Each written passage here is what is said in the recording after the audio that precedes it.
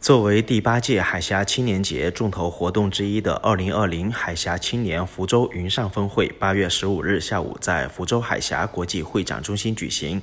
本次峰会采用线上与线下相结合进行，除在福州设立主会场外，在北京、武汉、昆山、台北等地同步设立了六个分会场。当天的峰会共设置了疫情下的两岸共情故事、逆行的摆渡人、后疫情时代两岸青年的责任与担当三个篇章。两岸青年代表轮番登台分享各自的故事。来自台湾彰化的陈文成是一名在北京工作生活的台青。疫情期间，他投身社区一线防控，成为了一名志愿者。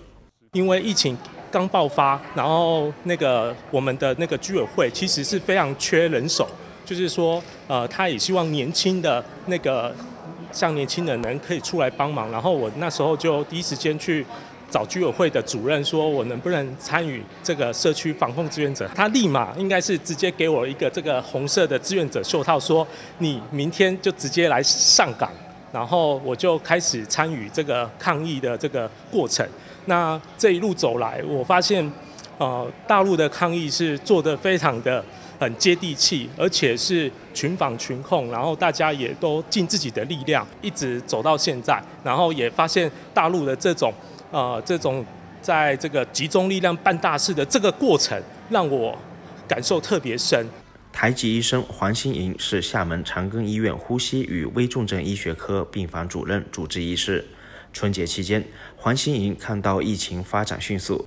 他主动取消了原定于正月初二回台的机票，选择留守医院参与新冠肺炎疫情抗击工作。那我爸妈在台湾也觉得说，我身为呼吸危重症医学科的医生就应该坚守在第一线，他们也很支持我。因为那时候呃，在疫情比较比较严重的时候，是刚好在过年，所以那时候先取消了机票，才跟家里人说，那他们也也得到他们的支持。我们其实可以让更多台湾的青年，就是了解到大陆、认识大陆，甚至在这里跟我一样生根发展。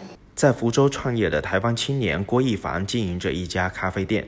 疫情期间，感动于医生们无私奉献，他与合作伙伴辗转福州多家医院，给坚守一线的医务人员送出了一千多杯手做咖啡。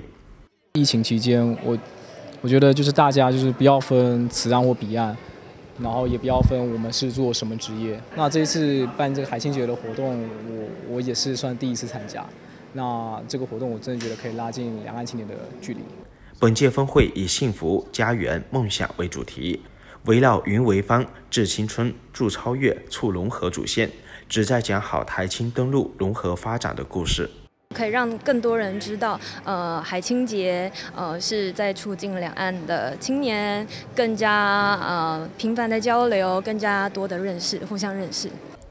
当天的峰会上，国台办主任刘杰一、全国青联主席汪红艳在北京峰会场通过视频连线参与活动并致辞。